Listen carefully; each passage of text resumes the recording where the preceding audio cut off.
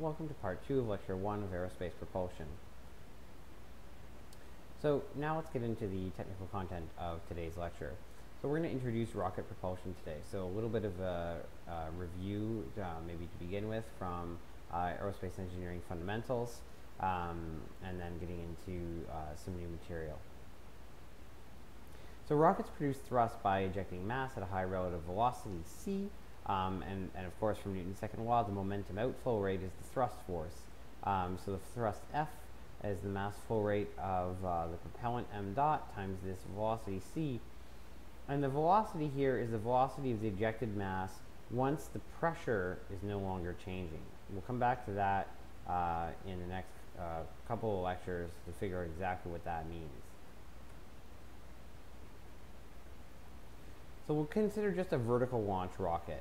And the governing equation here is something that we did see uh, last uh, year in aerospace fundamentals. Um, and this is just a simple uh, differential equation. Um,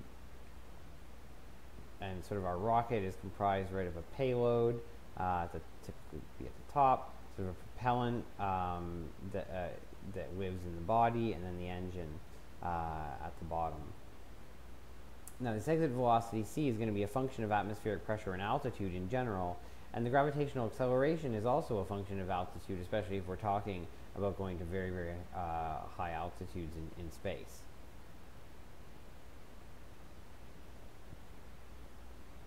So in our rocket equation, we simplify by taking c and g to be constant.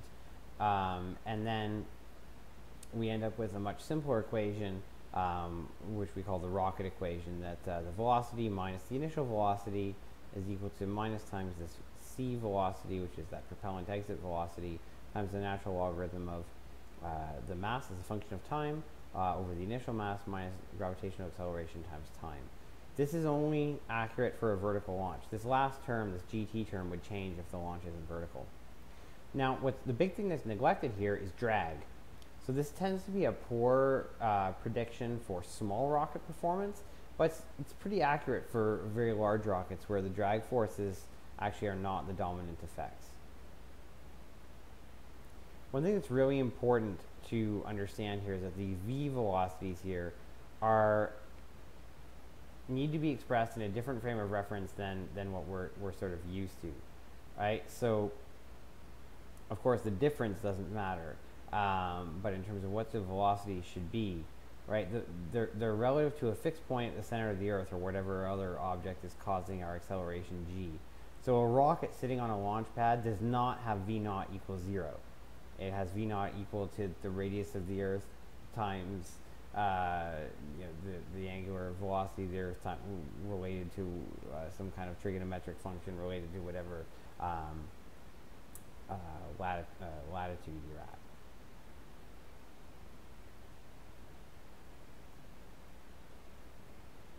So we can uh, write this non-dimensionally by bringing the c as a denominator to the other side. Now what velocity change we need is set by our mission requirements. Um, so for example, if we're trying to get something into low Earth orbit, right? Um, if we have, because of our assumption of, if we make an assumption of constant mass flow from the engine, after some mathematical manipulation, we can get the following. And so typically, the V minus V naught over C, this would be known based on what our rocket is, um, and uh, what the uh, required sort of velocity change is. And so then the big free parameter we have is this A naught, uh, as well as the mass as a function of time. So what this A naught is sort of a design parameter. This is the initial acceleration of the rocket, and it's F, the, the, the thrust force divided by the initial uh, mass, and that had better be greater than G, or else this rocket's not going anywhere. Um, and so what this equation really is, is an implicit equation for the mass fraction mt over m naught as a function of time. The second term is a term called, uh, called gravity loss. Um, and because this is because it's the reduction in the velocity change that you obtain caused by overcoming gravitational effects. Basically, the significance of this term uh, decreases as the initial acceleration A naught rises. So that gives rise to an interesting question. What should we pick for that initial acceleration? Should we make the initial ac acceleration as large as possible since it decreases gravity loss and therefore increase the maximum velocity v? What might be the consequences of doing that? Let's think about the impact on the rocket mass. So what I want you to do is think whether you're going through, uh, if you're going through this, this video, I want you to think about this for a few minutes and try to come up with an intuitive answer for yourself before you move on to the next part of the video.